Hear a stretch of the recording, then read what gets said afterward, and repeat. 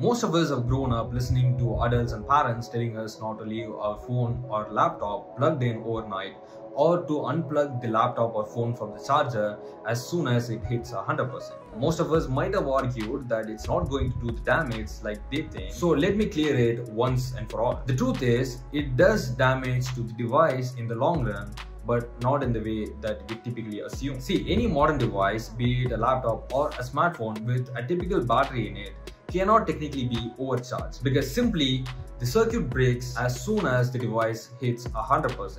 So overcharging is technically not possible. Now the question is, then what does the damage? Now there are three important factors that really does the damage to the device that's just related to charging. Firstly, heat. If you're dealing with some heavy workload, if your laptop or smartphone or any device you're dealing with has poor ventilation while it is plugged in, then it's going to generate heat and heat accelerates battery aging. Secondly, keeping your device at full charge all the time. See, this isn't going to kill your laptop's battery, it just reduces the long-term capacity. Thirdly, full charge cycles. A cycle is charging from 0 to 100%. So now, let me tell you what you should be doing. Firstly, set a charger limit, don't charge your laptop above 80 or 85%. Secondly, keep it cool, ensure good ventilation to your laptop.